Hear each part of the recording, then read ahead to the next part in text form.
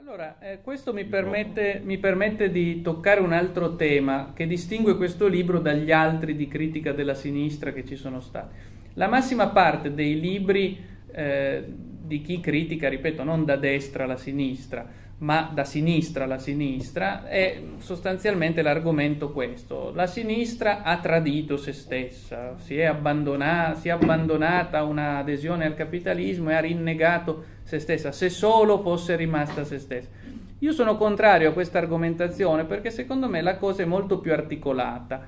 Eh, la sinistra è vero, si è liberata di quella parte diciamo così, eh, di critica del capitale e dell'imperialismo, mantenendo solo la inoffensiva scorza progressista che poi l'ha fatta rifluire nel mondo liberal contemporaneo. Ma il capitalismo stesso è diventato di sinistra. Questo è l'altro aspetto che sfugge. Dagli anni 60 il capitalismo non è più il capitalismo di destra, padre padrone, autorità, religione. Dagli anni 60 il capitalismo fa suo un software di sinistra, ma per sinistra non intendo ovviamente lotta di classe e lotta all'imperialismo, il capitalismo continua a essere capitalismo e imperialista, però ha fatto proprio un modello progressista che è quello che vediamo dagli anni 60 e quindi è come se ci fosse stato un doppio riassorbimento per cui la sinistra diventava capitalistica e il capitalismo diventava di sinistra. Oggi paradossalmente i motti del 68, se ci pensate, che non avevano nulla di Marx e di Gramsci, ma erano basati più su una sorta di progressismo gauchiste, vietato vietare, l'immaginazione al potere, abbasso, abbasso l'autorità, Quei motti oggi sono quelli in cui si incarna lo spirito dell'odierno capitalismo di free market and free desire, che è sotto questo profilo un capitalismo gauchista. Questo per dire che oggi il capitalismo si riproduce culturalmente a sinistra ed è quindi chiaro che la cultura, deve, che deve essere funzionale al capitale, deve essere una cultura di sinistra, non può essere una cultura disorganica rispetto alla logica liberal progressista.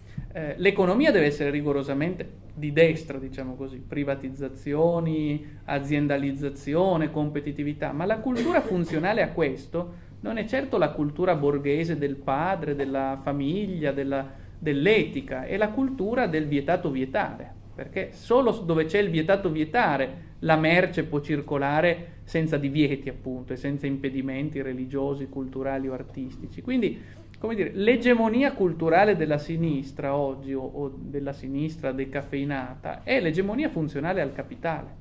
Quanto più vince la cultura di sinistra, tanto più vince l'economia di destra.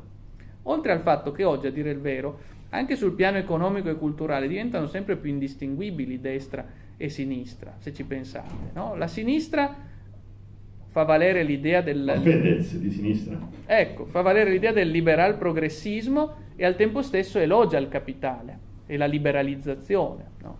Ricordo a tutti che il pacchetto liberalizzazioni fu firmato da Bersani in Italia, quindi economia di destra fatta dalla sinistra. Però eh, analogamente la destra, che storicamente eh, ha avuto un buon rapporto diciamo, con la società data, con il capitale, sta ormai accettando anche la cultura del liberal progressismo è storia dei nostri tempi. No? Vi posso citare alcuni esempi anche senza andare tanto lontano. In Veneto, che è un, una forza di destra, ha fatto il centro delle transizioni gender, per dirne una, o è una signora che si chiama Alessandra Mussolini che ha detto che ci vuole il passaporto con il neutro perché se no c'è discriminazione, o ancora, storia di qualche giorni fa, nella orwelliana materia dell'educazione sentimentale che stanno pensando di introdurre, avevano messo a, come ipotesi a capo di questo progetto una signora che è nota per le sue posizioni ferventemente LGBT e orientate secondo il progetto del liberal progressismo. No, noi in Friuli siamo molto tradizionalisti. Sì. Questo non, non, non, lo so se siete tradizionalisti o no, però credo che il discorso valga un po' ovunque, quindi anche forse in Friuli, adesso non entro eh, nello specifico. Però ecco, destra e sinistra sono davvero categorie oggi evaporate. Secondo me servono, sono imposte.